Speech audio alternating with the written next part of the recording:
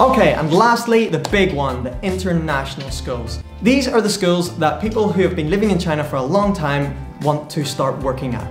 They boast the highest wages, they have a great work environment, the benefits are crazy, they have room for personal development, and you can be creative with your own classes. Generally, you'll be teaching somewhere between 15 and 25 classes per week.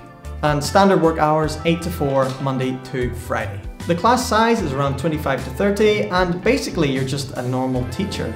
So you're going to be a subject teacher in whatever your major was in at university, and that's what you teach.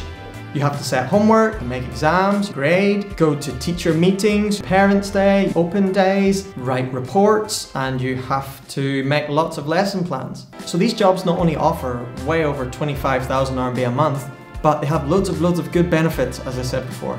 Some of the benefits that are my contract right now, I have a flight allowance of 15,000 RMB back to the UK, and if I don't use it at the end of the year, they, they give it back to you as a bonus. You also have worldwide travel insurance, paid sick leave, paid personal days, and one of the best parts is that you get fully paid all year round. So if you're off on holiday, the winter holiday and the two month summer break, you get fully paid. And the last part, if you renew your contract, you get a full month's salary. Okay, so I hope this has cleared up a few things and perhaps you were on the fence about teaching in China before and now you've kind of decided that you want to go and what sort of school you'll be looking for. And my next video, I'm going to take my camera to school and show you what it's like to be a math and ICT teacher in an international school in Shanghai. But anyway, thanks for watching and I'll see you later.